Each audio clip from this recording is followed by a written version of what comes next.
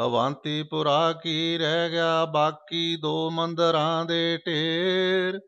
ਬੀਤ ਚੁੱਕੀ ਸਭਿਅਤਾ ਦੇ ਖੰਡਰ, ਦੱਸਦੇ ਸਮੇਂ ਦੇ ਫੇਰ। ਸਾਖੀ ਭਰ ਉਸ ਅੱਖ ਦੀ, ਜਿਸ ਵਿੱਚ ਮੋਤੀਆ ਬਿੰਦ। ਹੁਨਰ ਪਛਾਣ ਵੱਲੋਂ ਛਾਇਆ, ਗੁਣਦੀ ਰਹੀ ਨਾ ਜਿੰਦ। ਜੋਸ਼ ਮਜਬ ਤੇ ਕਦਰ ਹੁਨਰ ਦੀ ਰਹੀ ਨਾ ਠੀਕ ਤਮੀਜ਼। ਰਾਜੀ ਕਰਦੇ ਹੋਰਾਂ ਤਾਈ ਆਪੋਂ ਬਣੇ ਮਰੀਜ਼ ਬੁੱਤ ਪੂਜਾ ਬੁੱਤ ਫੇਰ ਹੋ ਪਏ, ਹੁਨਰ ਨਾ ਪਰਤਿਆ ਹਾਏ।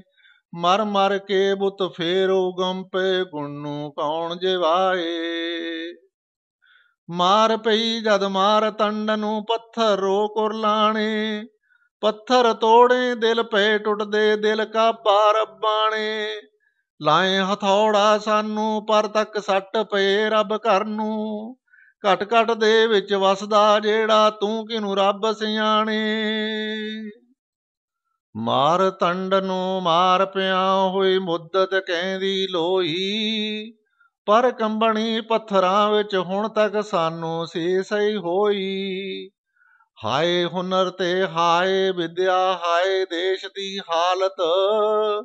ਹਾਏ ਹਿੰਦ ਫਲ ਫਾੜੀਆਂ ਵਾਲੇ ਹਰ ਸਿਲ ਕਹਿੰਦੀ ਰੋਈ।